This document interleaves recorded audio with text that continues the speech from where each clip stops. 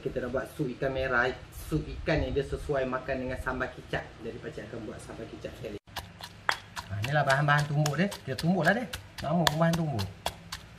Apa lagi?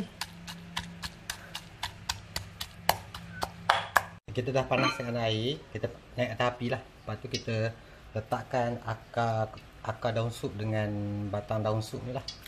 Yang uh, daun bawang. Nyanyi. Sementara tu kat sebelah ni pak cik ah pak cik buat tumis darat macam biasa pak cik tak nak makan minyak banyak-banyak jadi pak cik asingkan. Ah pak cik tumis asingkan.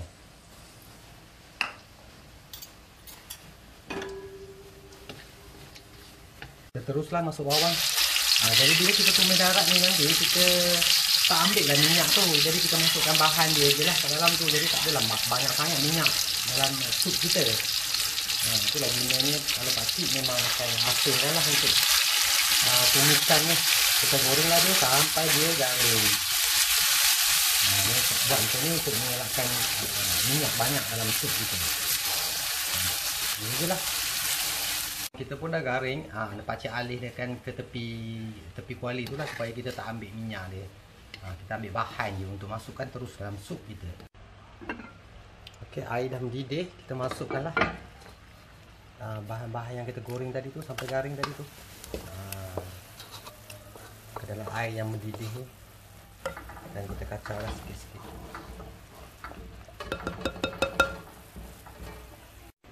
ok pakcik dah daun uh, daun pula. Serbuk sup dengan uh, perasa tadi ni pakcik gaul-gaul lah dengan air sikit. Sup kita pun dah mendidih. Ha, cuba tengok. Sup dalam sikit ha, okay, kita letaklah daun sup sikit. Lepas tu kita dah boleh masuk ikan lah. Palu dia tenggelam tenggelam.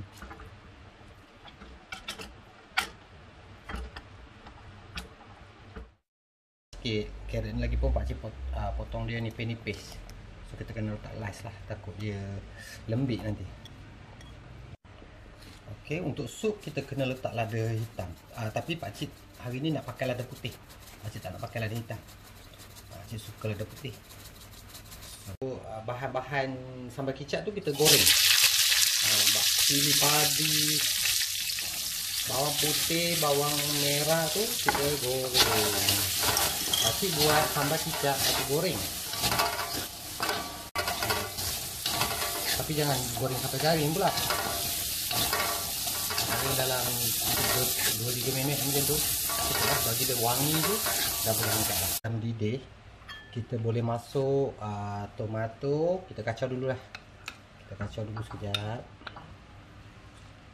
Masuk kamera kita ni Sedap ni pakcik dia rasa tadi sikit Sedap. Okay, kita letaklah tomato terus dengan daun uh, bawang goreng. Lepas tu segala daun bawang dengan daun sup ni pakcik masukkan sekali lepas tu pakcik tu tutup api. Ha. Sebab masak dalam vision ni dia cepat me melodohkan kita punya masakan. Jadi kita tak boleh biarkan dia kita kena tutup api je. Nanti dia akan lembik.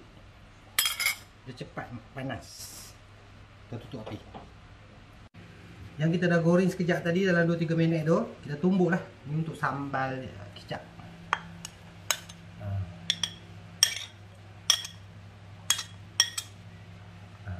Limau jangan tumbuk pula.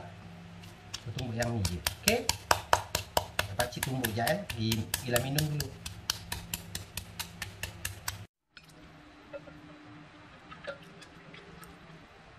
Balik.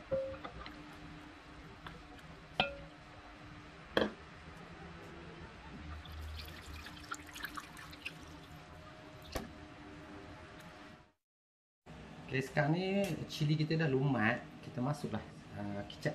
Kicap manis.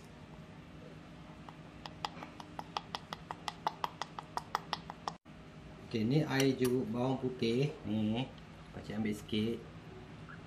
Air jeruk bawang putih ni pakcik masukkan. Satu sudu je. Tak banyak. Lepas tu kita masukkan sikit uh, sup. Uh, kuah sup tu kita masukkan sikit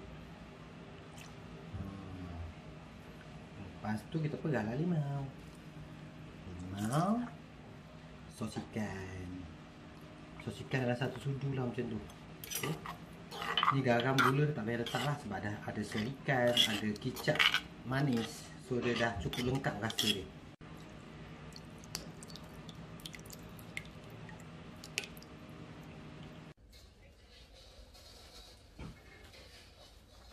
Okey, ni sup ikan merah kita pun dah siap. Makcik nak makan lah sekarang. Ah, ni sedap ni.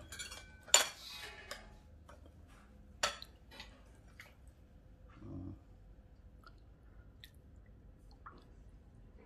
Okey, makcik nak try rasa. Letak sambal kicap kita sikit. Hmm. Sedap ni. Saya suka pada pedas. Tapi biji dah buang tadi masa buat uh, sambal kicap tadi. Kadang-kadang uh, pasti selang-seli lah dengan masakan-masakan rumah. Takkan nak masakan Thai je kan. Uh, mestilah bosan. Okey, kita rasa. Bismillahirrahmanirrahim. Hmm. Sedap. Boleh cuba. Itu je lah. Kita jumpa di video-video pakcik yang seterusnya. İnşallah. Bye.